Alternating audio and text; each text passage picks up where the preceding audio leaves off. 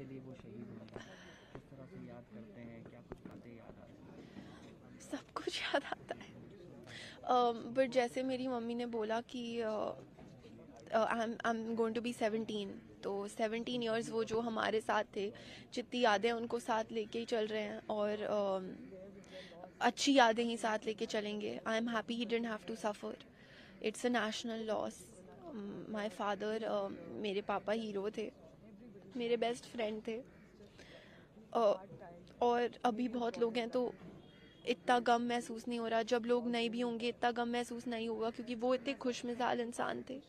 और maybe it's destined and better things will come आवे thank you book भी आपने लिखी थी उस उसको लेकर, किस तरह से उन्होंने कहा था? किस तरह से जोश भरते थे आपके बीच में पढ़ाई लिखाई को लेकर और अ, हाँ हाँ मेरे पापा, मेरे में ही नहीं, सब सब में जोश भरते थे। और सबसे बड़े मोटिवेटर थे वो मेरे। और मुझे याद है जब मैं पाँच साल की थी, मैंने पापा को देख के एक बार बोला कि आप मेरी हर बात मानते हो ना? क्योंकि वो मेरी हर बात मानते थे। And I am scared because I was very pampered by my father वो ये भी बोलते थे कि मेरी बेटी और भी किताबें लिखेंगी। हाँ जी देखते हैं।